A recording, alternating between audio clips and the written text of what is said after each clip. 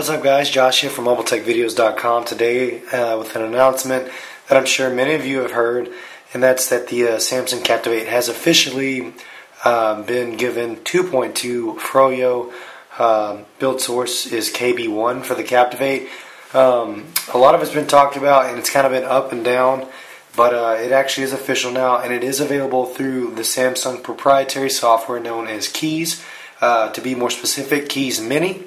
You can get that Kies Mini in the description at my website below. Here it is right here on the screen. Uh, and the first things first, you want to install Kies Mini onto your computer. Now we're working with Windows 7, um, so it's going to be similar for Vista and XP though. So just double click the uh, software, it'll kind of launch up and do its thing. Give you a closer look at that. And uh, this is something that uh, Captivate owners have been waiting on for a long time.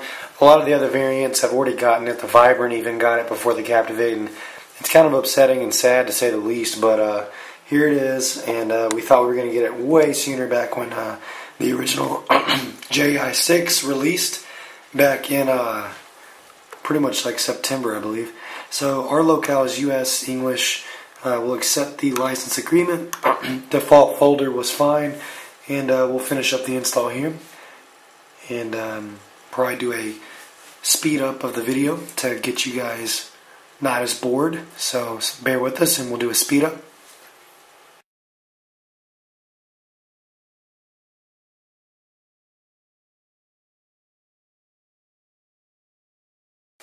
Okay, we are back and we want to elect to restart our computer.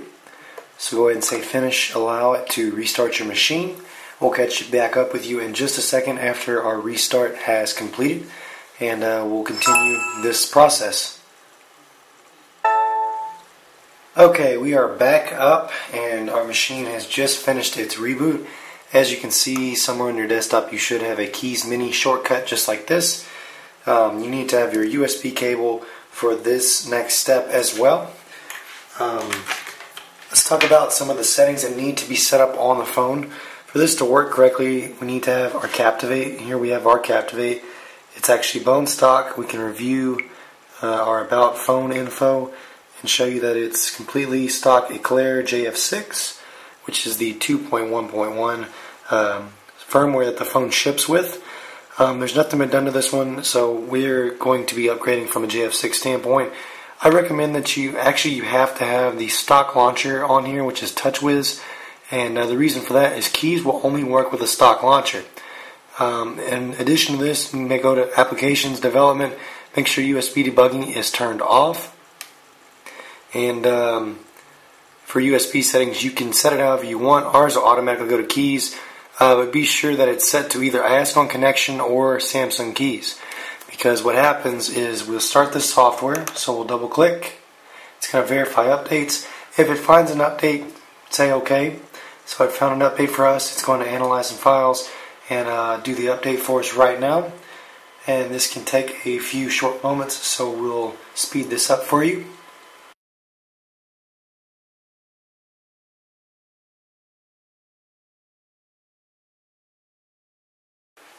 Okay, so our update is now complete. We'll say OK. And this should launch Kies Mini. So now we're going to see a screen that says please connect your mobile phone. It's important to stress that you need to be doing this from a plugged in laptop if you're doing it from a laptop. You don't want this to stop in the middle of flashing because you could end up with a hard brick. Also make sure your phone is at least 50% of battery life. Kies Mini will not even allow you to continue unless it is. Um, to verify your true battery life, you can always uh, click settings uh, go into about phone and click status and we can see there that our battery level is 100%. You can verify that as well. I would personally recommend above 75% as well as a plugged in laptop and if possible a desktop. And uh, from here, after we've set up no USB debugging and ask on connection or Kies as well as our stock launcher, which is the launcher the phone shipped with, plug it in and you'll get the Kies background that looks like that. Now the PC will determine what the phone is. So the software will do this And we'll notice that we've got an upgrade available as of February 19th, 2011. And our model number is the uh, American Samsung Captivate. Now we'll just click Phone Upgrade. Now it's going to do some uh, some small things. It's going to determine your battery life and a few other things. And it's going to ask you if you accept the terms and agreements. It'll show our current version is JF6, which we just showed you, and then we'll be going to the KB1 update, which is the official Froyo. So check I have read and understood the preceding info and click upgrade. Now from here, your firmware is going to be downloaded. It's going to download binary files. After that, it's going to put the phone into download mode and then it's going to flash those binaries to the phone itself. Do not unplug the phone, don't unplug the computer, don't shut it down, don't do anything.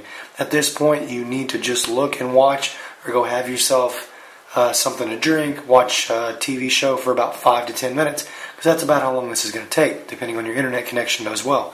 So, um, preferably just kind of let it go. So we're going to do a time lapse for this to speed this up as well. Your experience is going to be about 5 to 10 minutes and we'll talk about some changes once the phone has booted back up. Remember that this will not uh, overwrite anything on your phone. You actually will not lose any applications, pictures, text messages. All that's going to stay the same. The only thing that may change, that probably will change, is your widgets and your home screen shortcuts. You will have to reset those up. There's no clear cut way to migrate widgets in Android operating system. So, anyways, this is going to finish, and uh, I'll catch up with you guys in just a second.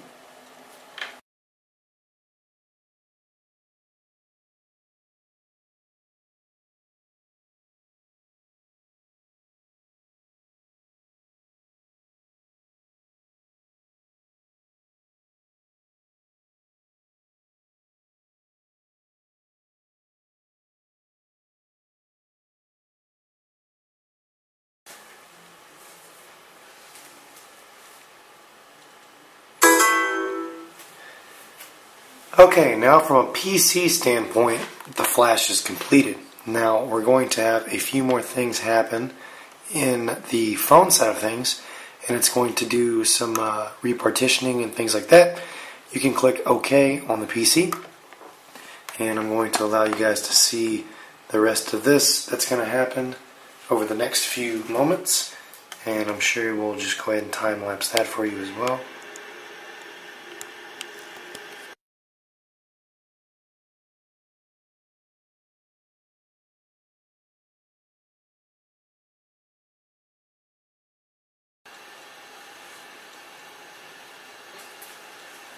Okay, so the phone has now booted back up all the way into standard mode.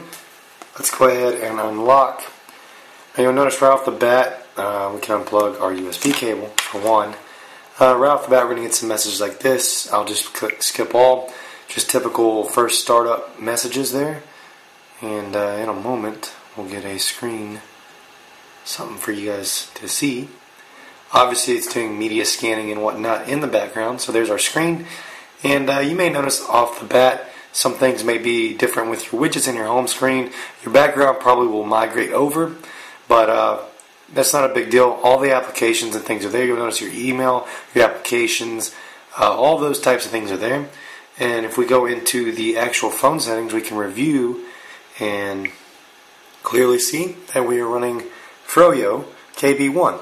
So that is the 2.2 upgrade, which is great to see. So you'll notice a few other enhancements to the operating system, such as general speed and performance, uh, some other things such as wireless and USB based tethering, some things that we saw that were robbed from us in the JH7 Captivate update. Um, stay tuned for my next videos. I'm going to be showing you how you can enable tethering without having to pay for the tethering package on the Captivate with this update, as well as how to root this particular version of 2.2. I do have a 2.2 uh, root video available, but it only covers the original JI6 version of Captivate, not this KB1. But don't worry, uh, I'm going to show you guys how to root the KB1 firmware as well. So that's how to upgrade your new Captivate or your old Captivate to the all new Froyo KB1 Source from Samsung that was released on February 19th You saw it here at Mobile Tech Videos. Check us out at mobiletechvideos.com. We've got tons of videos for the Captivate. So for some reason this is the first video you were seeing for the Captivate, you got to check us out. That's what we started with, and uh, we've got tons of things to show you for the Captivate. So mobiletechvideos.com. Be sure to subscribe, and if you're ready to try this firmware upgrade, good luck.